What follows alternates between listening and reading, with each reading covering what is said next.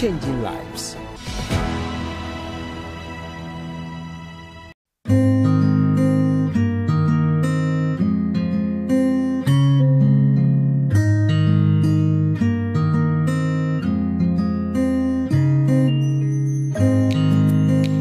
evening, viewers, and welcome back to another episode of the Consulting Room, coming off live from the studios of Hope Channel Ghana. We are glad you can join us. The Consulting Room comes up every Monday from 8 to 9 p.m. I'm Dr. Nae Campo Inen. A few weeks ago, we had a very interesting conversation about anthrax.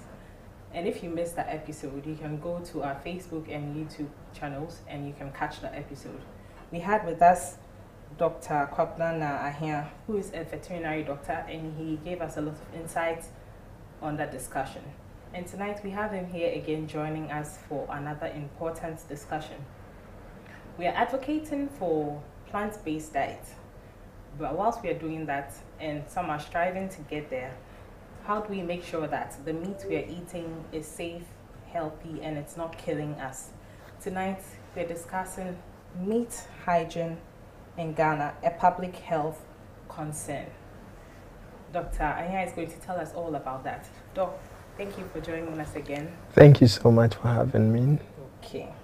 So please do send in your questions as we have this conversation. We would love to hear from you. And please do stay tuned. We'll be right back.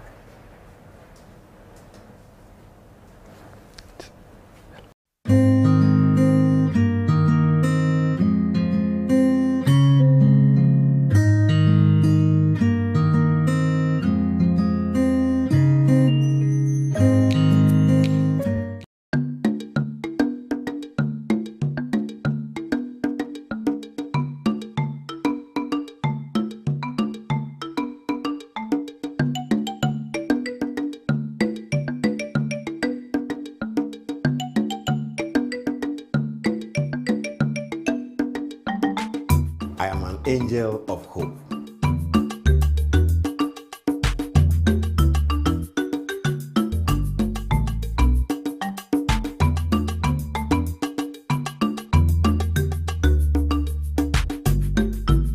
I'm an angel of hope.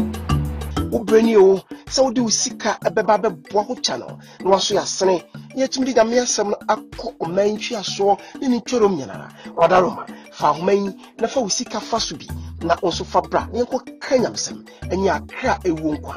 Star 928 star 34 star 104 hash. Anaasɛ 0249 19 3083 hope channel yɛsesa abrabɔ hope channel yɛgye akra nom nkwa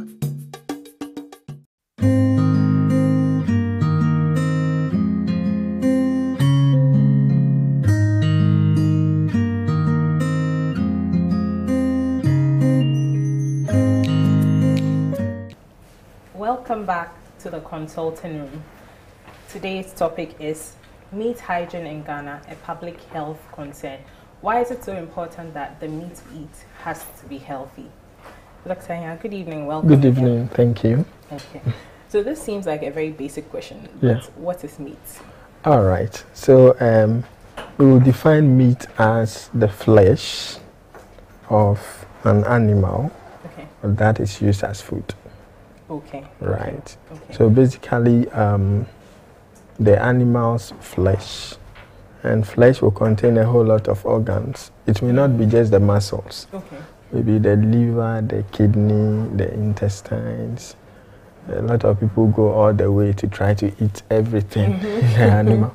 So we would say meat is that, uh, but in ancient English, we would say that uh, meat is food. Okay. So in ancient times, they will mention meat, and they are not necessarily referring to, um, you know, flesh of an animal, but they are saying food. Okay. Yeah. Okay. But- okay. Now, meat is just the flesh of an animal Okay. Okay. that can be used as food. As food. Okay. Okay. But has it always been the case that meat is used as a source of food? Or food. Yeah. Okay, so if you want to date it back to history, then we would are actually dating it back to human existence Mm. because uh, food is a basic part of uh, our lives. So the very day we were created, we were given food. Okay. So I would say that the first food given um, wasn't meat, Mm-hmm. it was plants, uh, fruits, vegetables, plants, and all that. So if we are looking into uh, Bible history, then it would be from after the flood. Uh, I think Genesis chapter 9, verse 3 down, where now after the flood, God gave the permission to man to eat meat or animals. So it became part of the diet of, of man. Uh, yeah, so that's what I'll say about the history. It dates Okay. way back Yeah. To the time of Noah. Okay, Yeah. okay, okay. Yeah. Okay, so as Christians, the Bible is our handbook, Yeah, right? yeah. And it tells us the clean and unclean animals, what's good to eat and what's not good to eat. Yeah, yeah. Um, but with your expertise, how do you tell which of these animals are okay to eat? Okay, so so that would take us into um, determining which animals are food animals and Yeah. which ones are not uh, food animals. I will take it into um, the culture of people. Mm. If I want to make an example right now, if there's a chop bar operator who is uh, using vulture Mhm. for, for, for food for people, if the people find out, it, it will be a chaos situation, right? Yeah. Because in the culture of, of Ghana, uh, we, we don't eat that, right? So, to determine which animal is good for food, I would say it falls within the culture of a people. Mm. Now, let me say, as Christians, we have a culture too. Well, or as Seventh day Adventists, we have a culture. Yeah. So we have which animals are for food and which ones are not, Mhm. right? Which ones we use as food and which ones we don't use as food. When it comes to um, science, or in Ghana, veterinary practice and all that, there are animals we call food animals as well. Okay. And they are basically the ruminants, Okay. the poultry, and other ones. Then there are also wild animals that are used, those that are in the wild, right? Mhm. And all that. But in the Jewish culture, there are specific instructions as to which animals should be used for food Mhm. and which ones should not be used for Yeah. food. And carnivores are no, no. Okay. Carnivores are never part of the animals that were supposed to be used for food. Mm. That's animals feeding on other flesh. on right? other flesh Yeah. animals. And Okay. and it appears that in most cultures, uh, carnivores are not used as food as well. Mm. However, some people use them as as as food. Um, when we get to the way we slaughter these animals, we will realize that it is much more easier slaughtering even the ones that are used for food than the Mm. ones that are not. Okay. I will not want to jump the Yeah, gun. yeah. So basically, there are food animals and there are animals that are not used for food. If you want to eat everything, you may end up poisoning yourself. Mm, For mm. instance, we have the puffer fish, Okay. and it's a very poisonous fish. It's In in the sea. sea. Okay. If you eat it, you will die. right. Mm. So you can't classify that as food animal. Yeah. So you cannot just wake up one morning and start to eat everything. Yeah. Right. You should know whether what you are eating uh, is rather is really good for consumption, yeah, or Mm. not. Okay, so you've given an example of the puffer fish, but Yes, that yes. aside, there are some animals that we shouldn't eat, Mhm. but if you eat, it doesn't immediately kill you. But what are some of the dangers you could face from eating those? Okay, so um, scientifically, um, I would say that uh, all the animals or everything may have side effects. So scientists Mhm. may argue that oh, this one has side effects. This one, all of them may have side effects, and if you subject them to nutritional analysis, Mm-hmm. you may also uh, find some nutritional values for those ones. Yeah. But for me, so far as God has said, then that should be Yeah. it. Uh, however, I, I will not want to mention a lot of animals, but the pig, for instance, some may argue that it's very nutritious, but there are a lot more diseases that it harbors, right? Mhm. And then uh, which may not be good, good for food. So I will not advocate that we take those that are not to be Yeah. used for food as food. Food, yeah. According to what the Bible says, Mm. I would like to go by that Yeah. in Leviticus chapter 11. that says yes, for now. Yes. Yeah, yeah. So from Mm. our topic, meat hygiene. What Okay. what is it? Okay, so meat hygiene is basically uh, all the processes or the things we do to the meat Okay. to ensure that it is healthy for consumption Mm, and it's, it, the quality is up to standard okay. and it is not going to give any disease. Already there are issues with it, and so not following these practices would uh, endanger us the more.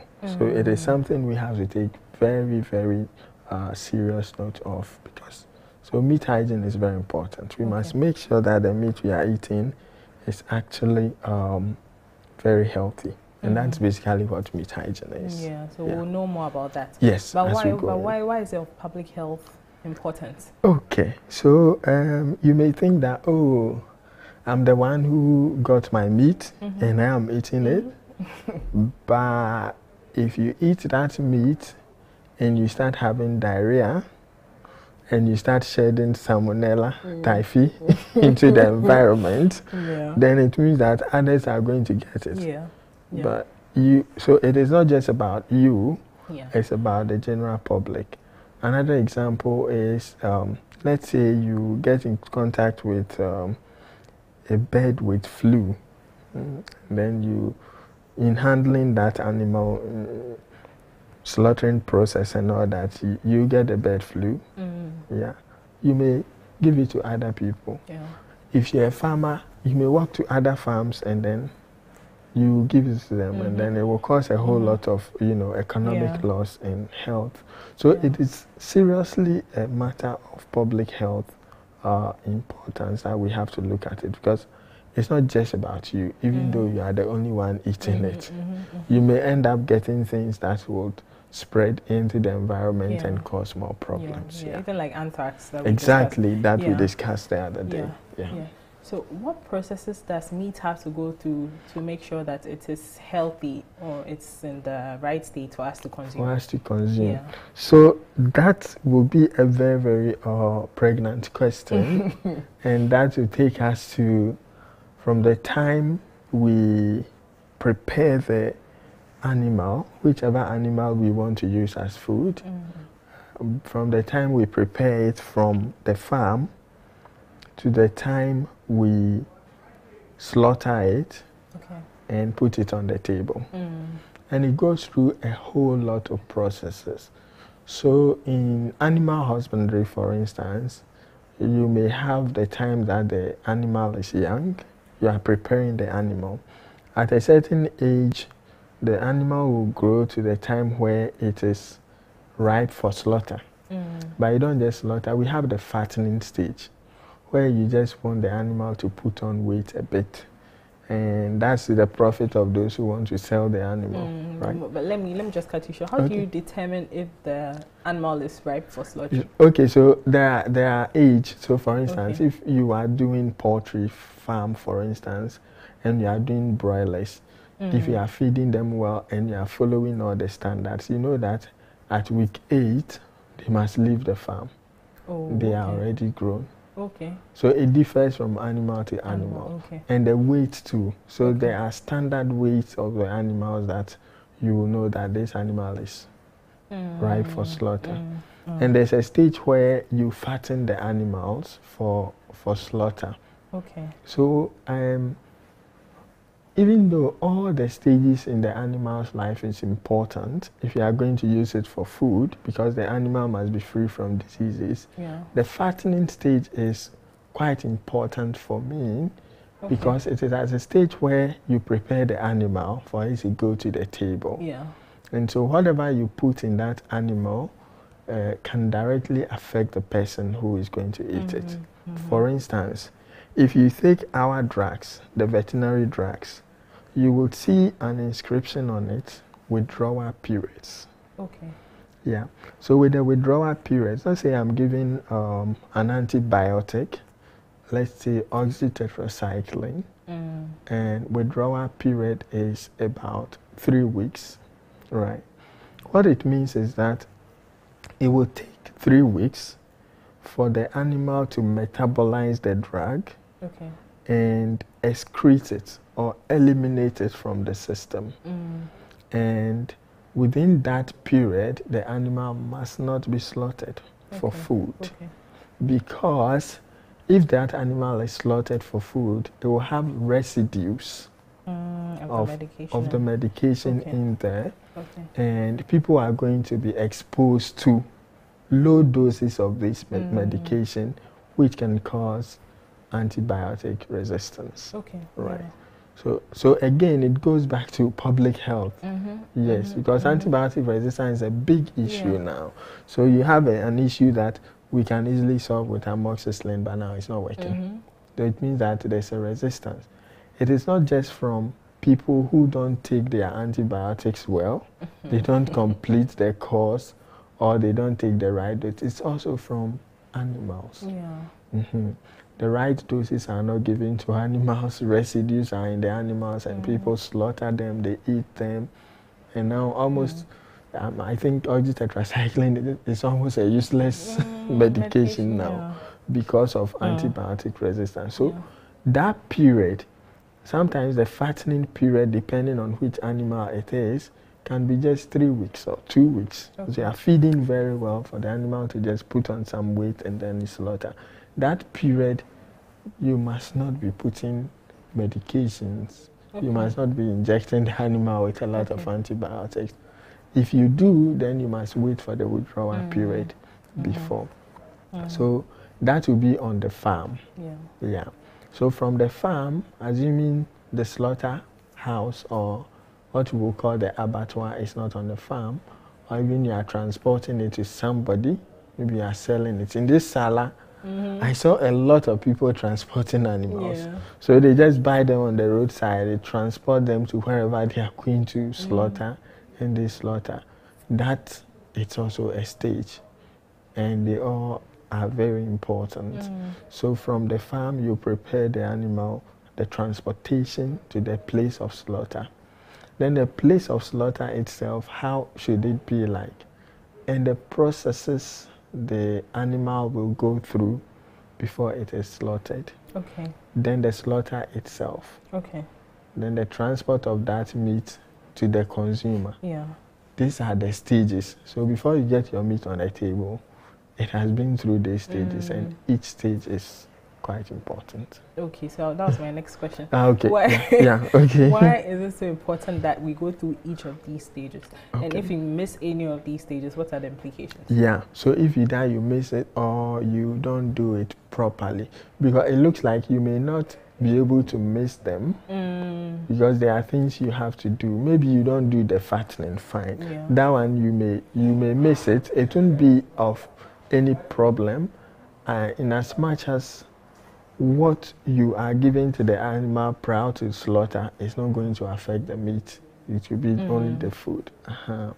But each stage is important because one, the time from the fattening stage, for instance, all the antibiotic I mentioned and other medications you give, which may be resi- residual, uh, can cause public health issues, can Yeah. cause antibiotic resistance, like I said before. Now, the transportation, someone may say, oh, it's just an animal. Yeah. And we can just tie it. I think when we get to humane treatment of animals, I will show a video on that.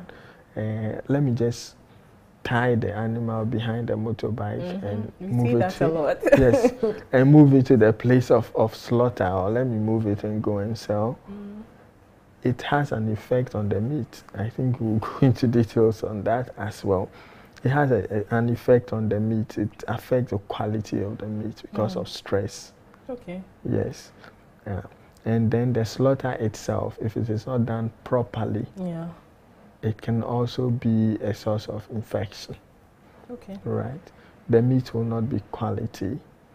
And at the slaughter place, there are processes that goes on uh, to ensure that the meat is of good quality, which is the meat inspection. Mm, So I mentioned last week about ante-mortem and post-mortem yeah. Yeah. before the meat goes to the consumer. And these are all inspections that are done by professionals. So if you miss it, it means that You are missing a very important thing. Now, the meat is ready. It's been inspected by professionals.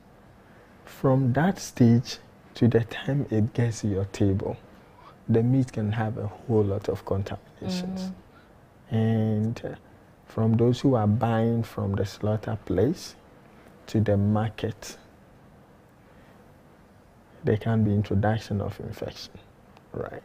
And meat is not just like vegetable. Even vegetables can also be source of infection because of Yeah. contamination. But meat is like uh, an agar plate.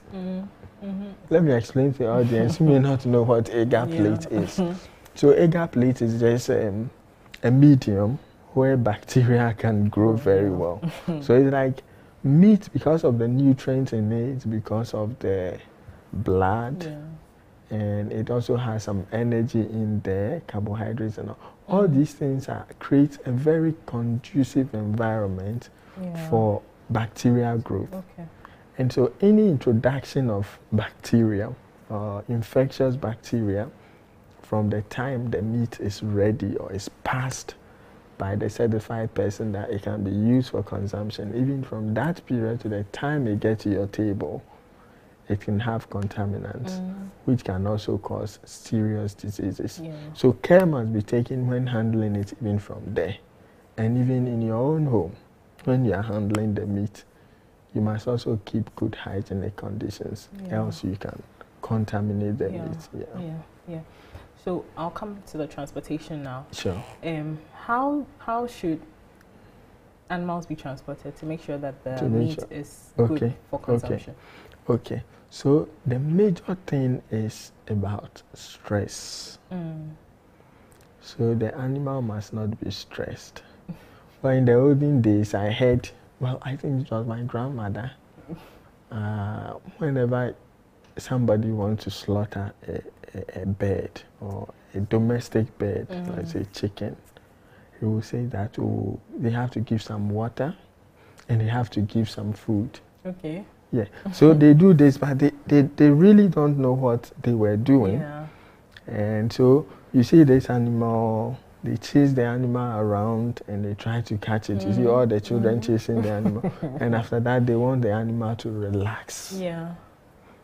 because they want it. They, they, they don't know the science behind it. But i if an animal is stressed, a whole lot of chemical processes go on in the body, which can end up, uh, uh, it reduces the quality of meat that the animal will produce. Okay.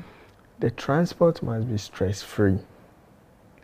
The space must be big enough for the animal to be able to stand. Mm. There must even be food and water for the animal. So you cannot just tie the animal somewhere Yeah. and then move the animal. There will be so much stress. Animal will be in danger because they feel endangered at that stage. Yeah. So you make sure, depending on the distance, sometimes you even sedate for some Okay. animals. Okay. Yes. So make sure that the animal doesn't go through stress because the animal going through stress will affect the, the meat Mm. they eat.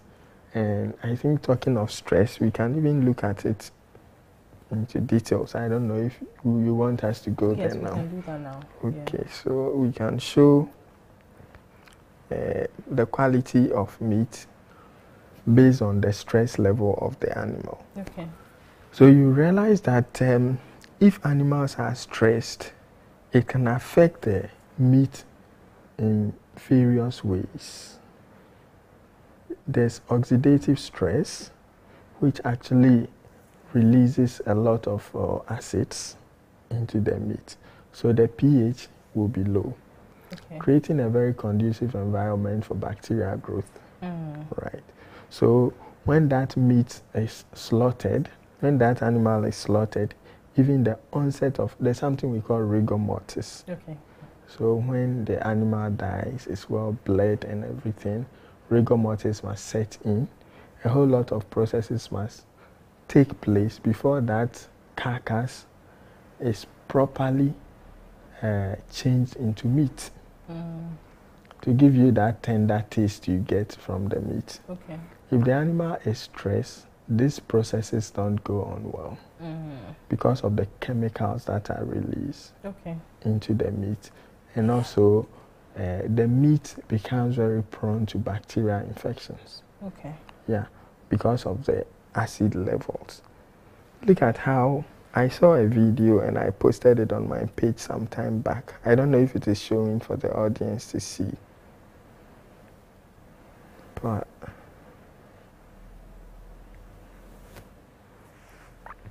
you can check this.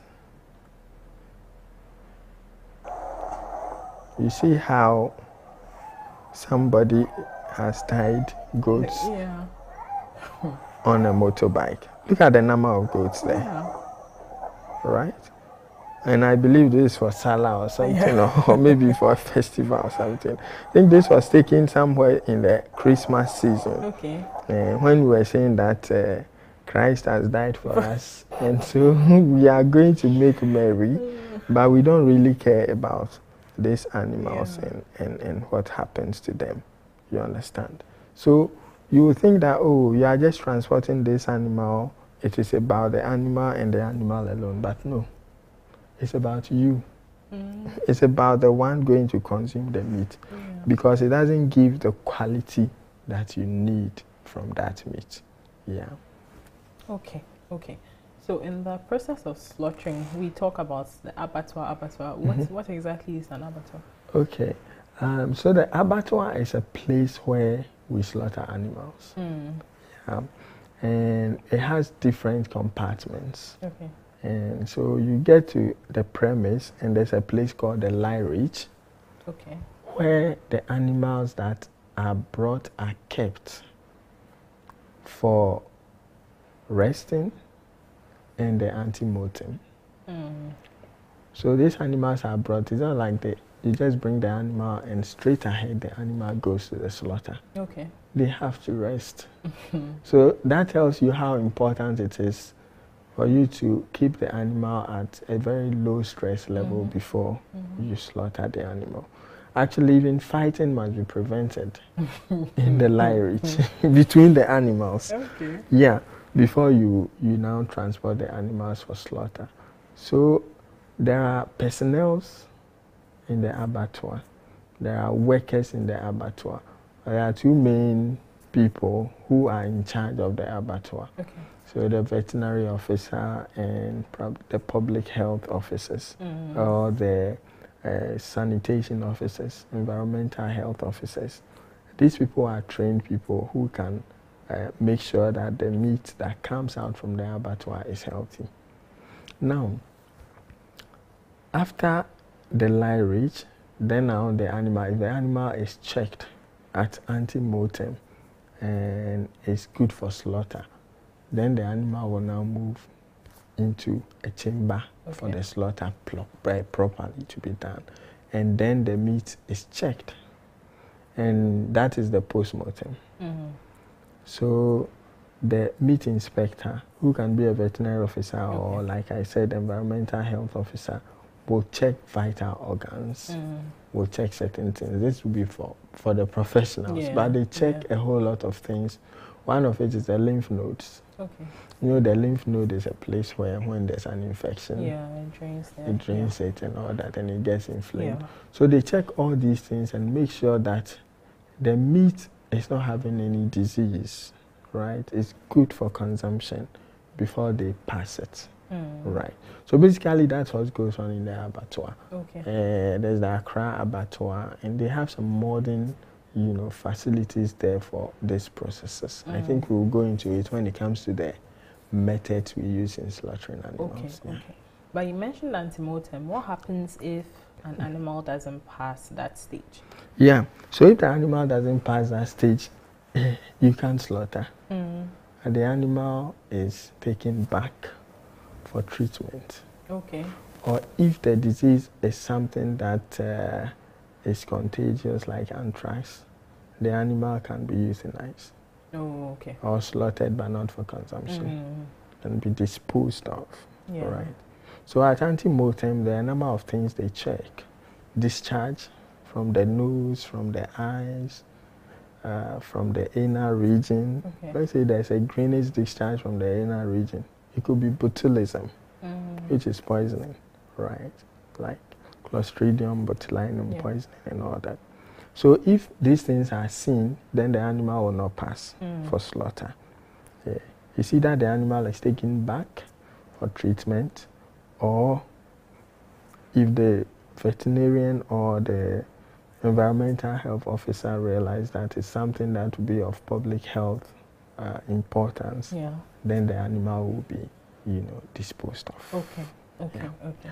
Are there any laws governing the slaughtering of animals in the abattoirs? Yes, and in Ghana in general. So Okay. there are bylaws. For instance, there's a law, a bylaw by the Kassena Nankana Okay. Municipal Assembly, Okay. right, where they outlined exactly how things should go on in the abattoir, Mm. how animals should be slaughtered, so that if there's a slaughter slab somewhere where they are just slaughtering people, animals, there are people when they want to slaughter a big animal, they just call somebody Mhm. who is who slaughters animals, Mhm. and then you come and slaughter for them Yeah. and cut cut for them to go and eat.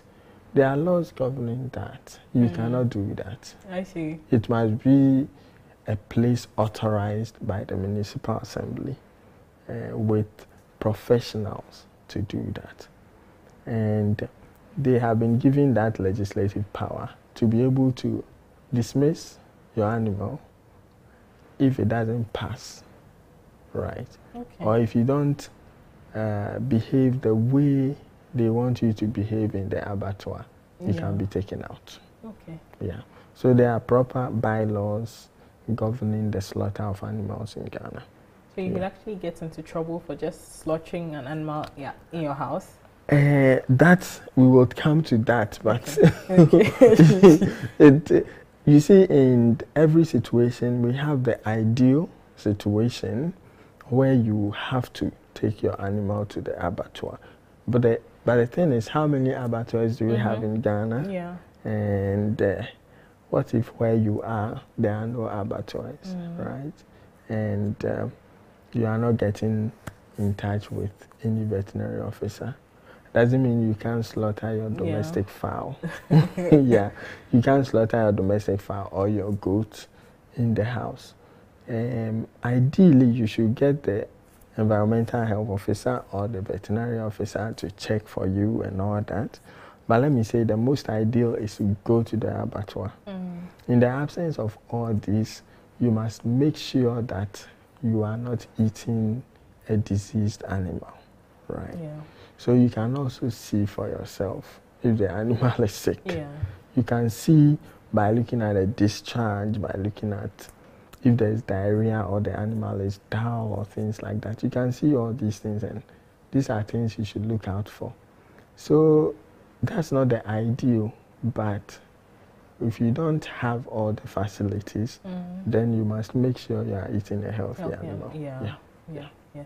So usually we would see that their throat is slashed and then Yes. that's how we slaughter them. Yeah, Are there normally. other, other other ways in which it can be killed?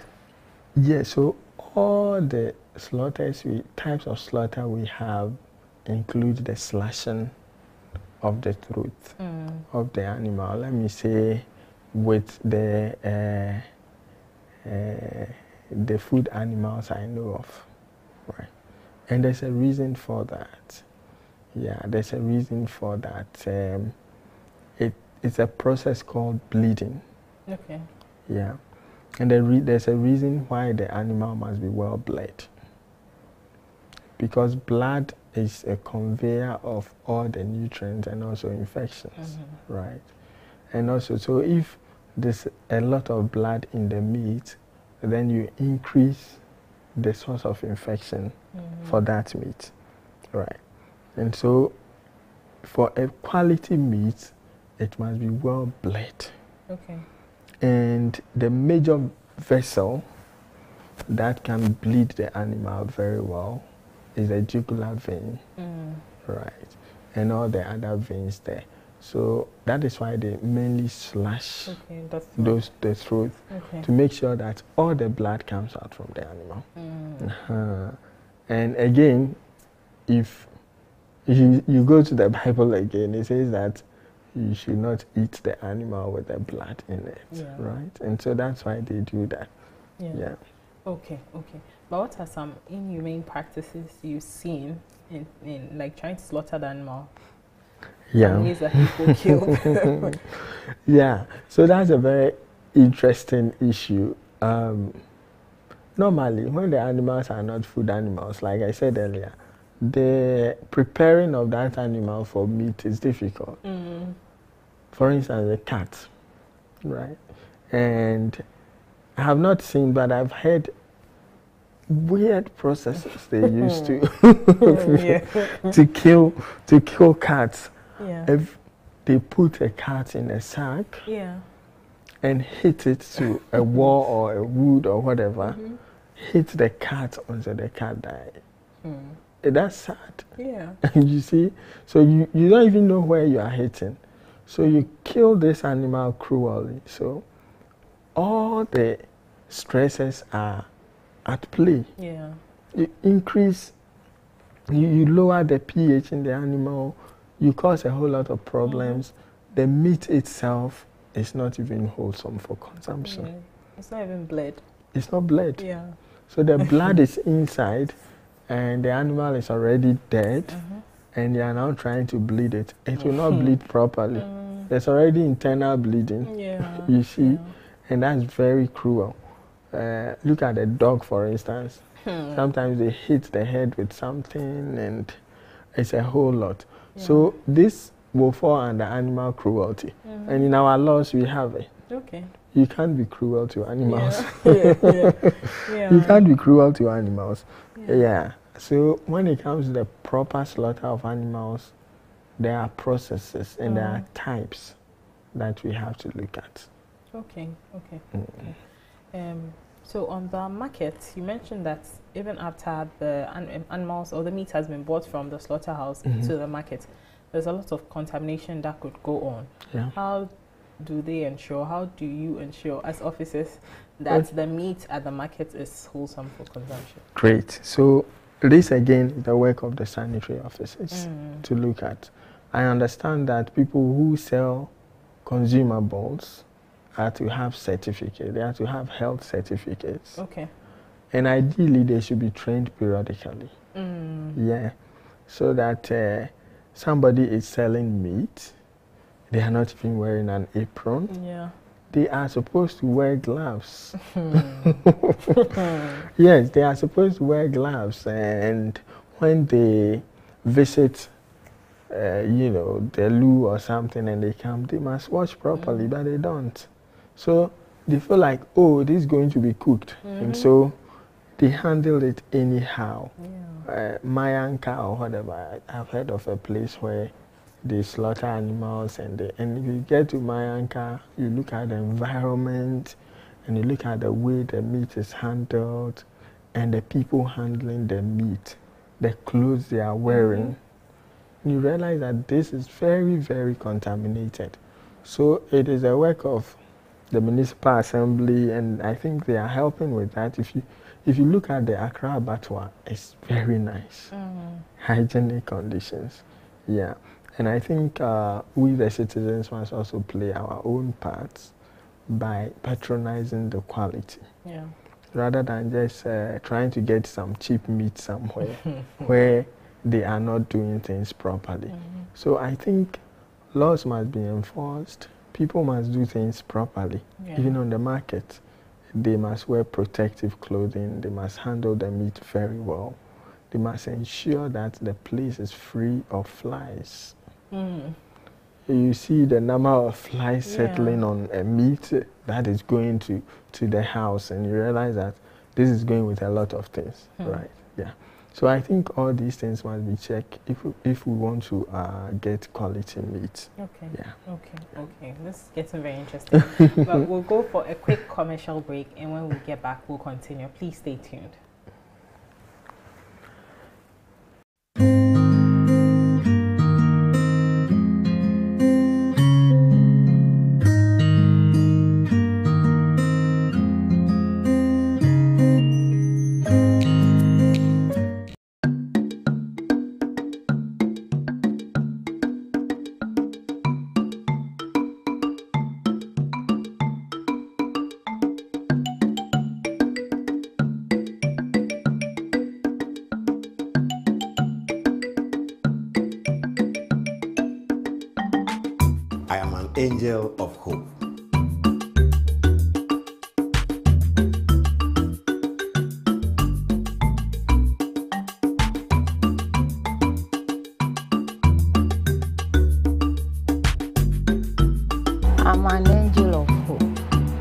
Wobrɛ o sɛ wode wo sika bɛba bɛboa ho channel na waso yɛasene yɛtumi de nyame asɛm no akɔ ɔman ntwiasoɔ ne ne ntwarom nyinara wadaroma fa ahoma yi na fa wo sika fa so bi na nso fa bra na yɛnkɔka nyamesɛm. Ɛnyɛ akra ɛwuo nkwa. Star 928 star. 34 star 104 hash. Anaasɛ 0249 19 3083 hope channel hope channel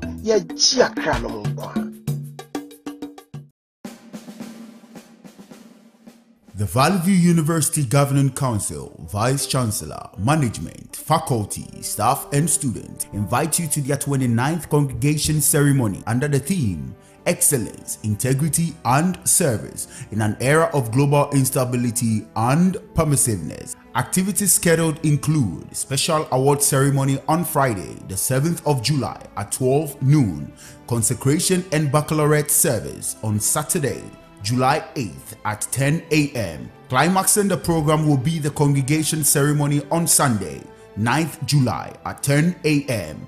All activities are scheduled to take place at the university's chapel. Gracing the occasion will be several dignitaries, including His Excellency the President of Ghana, Nana Addo Dankwa Akufo Addo, His Excellency the President of Zambia, Hakainde Hichilema, Honorable Chief of Staff, Akosua Frema Osei-Opare, and His Excellency the former President of Ghana, John Agyekum Kufuor. The event promises to be a grand celebration of achievement, culture, and diversity. Valley View University, excellence, integrity, and service.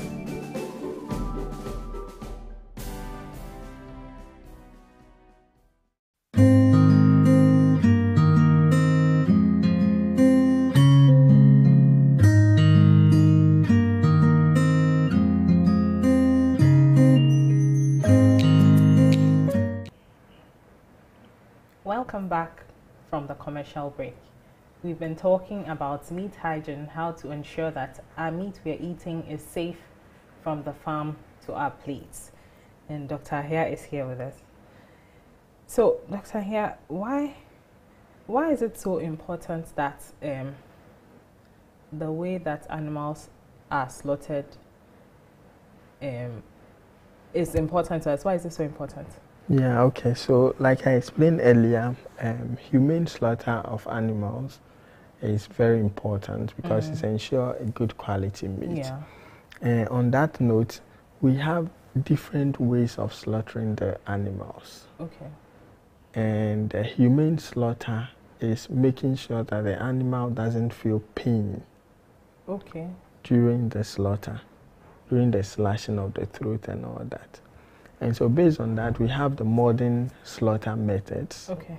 Which begins with a process we call stunning. So, stunning is rendering the animal unconscious before slaughter. Okay. It can be done by a concussion gun, Mm. which is shot at the forehead, right, and uh, renders the brain inactive. But isn't that a stressor? No, it's not. It's not. it help. It helps than okay. you know just forcing the animal to death by Mm. killing it like that. Yeah, and then we also have the stunning by electric shock, Mm. where there's a particular voltage for each animal. Okay. So the different animals, the different uh, you know farm animals have different voltage that the experts know and they Mm. use it. Then we also have the stunning by carbon dioxide gas. Okay. So all these things is you ensure that the animal is free of pain and stress. So you are killing these animals for your food. You Mhm. must make sure that uh, they don't go through pain and stress. However, we have other types of uh, slaughter, which we call the religious slaughter, Okay. and that would be the Jewish way of slaughter, called the kosher, Okay. or the um, the Muslims called the halal. Okay. So if they don't slaughter it that way, they don't see it as whole for consumption. Mm. But all these things comes with slashing the throat, Okay. right? So after stunning the animal, and it happens in all animals, even birds, after stunning the animal, the throat is slashed and the blood comes out. Mm. They make sure that the blood drains out as much as possible. Okay. With the religious slaughter, there are specified people who do that, and they have a very sharp knife. Even the kosher, they make sure that the slash is just once. Mm. Mm, unlike when we want to slaughter our own fowl, we get some blunt knife and we are just doing it over and over. And this animal is in serious pain Yeah. and crying, hmm. but we don't care because we just want to eat our meat. Yeah. and I don't think it is right. They make sure that they slash it just once. Even with the halal, they make sure they slash it once, and slashing every structure apart from the cervical vertebra there hmm. So that they make sure that all the structures here are gone, and so there will be no blood flow to the Yeah. brain. And so as the animal bleeds, uh, it, it dies. And normally, there are some countries that legislate for the stunning before slaughter Mm. in, in, in, the, in the quest to make sure animals are protected. And so in animal welfare, they make sure that they do the stunning. However, they allow for the religious people to, to slaughter with their own methods. Mm. And I think that one too is really fast, and so it also helps. It helps. So I think those who would also do their slaughter in their house can also take notes from some of these things, rather than stressing the animal too much. A lot of, if it's a goat or a sheep, a lot of people catching the animal, putting it down, slashing the throat with some blunt knife. Mm. It's not good. Yeah. It's not good for the animal, and it's not good for the one who is going to consume the animal. Yeah. So all these things go through very good, strict processes to make sure that the meat that is coming out is wholesome for consumption. Mm-hmm. Because it can really, really be a threat if these processes are not done properly. Yeah. Yeah. With a standing, do we have processes like that in like our abattoirs? Oh yes. Oh, we do. Yeah, we do. Oh, okay. So you go to Accra Abattoir, Kumasi Abattoir, and a whole lot of the abattoirs in Ghana, they are stunning, uh, you know, guns. They have the, like I said earlier, they are modern equipment. I think they are doing very well, Okay. trying to make sure that the meat we eat here uh, is, is good for consumption. Mm. With the with the cold store, the the ones they bring, you know, they bring poultry from outside Yeah. and, and then we eat them. We can't talk much about it because you don't know how they are slaughtered. Mm. Yes. Mm-hmm. You don't know how they are slaughtered and how long they've been kept for. But we just go to the store and we buy some chicken back and and eat it. It's Yeah. something we also have to have to check. We have to check those things when we are buying. I think they may have expiry dates. We have to check it properly. And I think we have to check whether it is not already in a bad shape before Yeah. we take it. Yes. Okay, yeah. So you've mentioned a little about that. How, at what point can we determine if meat is spoiled? How how will we know? Okay, so that will take us to meat spoilage. Yeah. So meat spoilage is basically when the meat uh, has gone bad. Let me put it that way, and it's not good for consumption. Now people think that oh, if I keep my meat in the deep freezer for a long time, then it's okay. It's not going to spoil. Meat can also spoil even under uh, anaerobic conditions. I see. Yeah, yeah. When it's kept for a very, very long, long Mm. time, because there are some bacteria that can grow under anaerobic conditions. yeah, and also those that can grow under aerobic conditions. So anytime you realize that the meat is having a foul smell, that one is an indicator. That one, anybody can see that this meat is, Yeah. is bad. It's bad. But there are others that you may not see when it has not gotten to the stage of putrefaction. when it has not gotten to the stage where the meat is already bad Mm. and you are having a very pungent smell and you know that you have to throw it away. It can become slimy. Mm. So the meat is basically more slimy than than how it's supposed to be.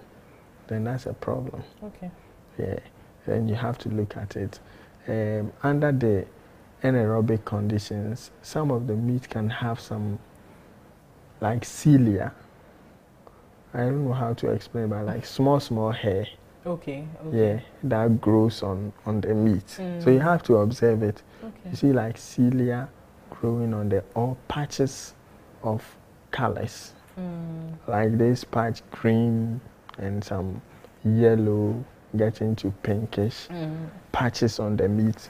Then you have to know that this meat is going bad. Mm. Like I said earlier, the meat is like an agar plate, like a plate where bacteria can grow. So immediately you start seeing these things, you know that no, you're not supposed to consume that Mm. meat. So the smell, when it's pungent, is going bad. When the consistency is not the same anymore, it's more slimy, then you have to look at it. When the color is changing, right, and you realize that a lot of fluid is coming from the meat. Mm. And I don't know, we have a culture where people like to eat rotten meat Really? or fish. I see. Oh, you, you don't know about that? no. I've not heard of that before. You don't know about uh, momoni? Oh, yeah, money is rotten fish. okay. Momoni is rotten. Why Okay. people want to eat it, but something Okay. that is rotten? oh, People want to eat something that is rotten. People want to eat momoni. And there's another one. I don't know why people would want to eat momoni or things that are rotten and, and smelling. Well, really it's a delicacy, Yeah. but I think we have to take care. Uh, these things may just be meat spoilage. Mm. But it's a delicacy for us, and we want to. We like the scent of it. We want to eat it. we have to be very, very careful yeah. because meat spoilage can lead to causation of a lot of diseases. I mentioned about salmonella. Mm. Yeah, salmonella can. It's a very common GIT disease, Yeah. and then the coliforms, colibacillosis, it can also lead that. And then rotten meat can have botulism. So the Clostridium uh, botulinum, the bacteria itself is there, but the growth of that bacteria produces toxins.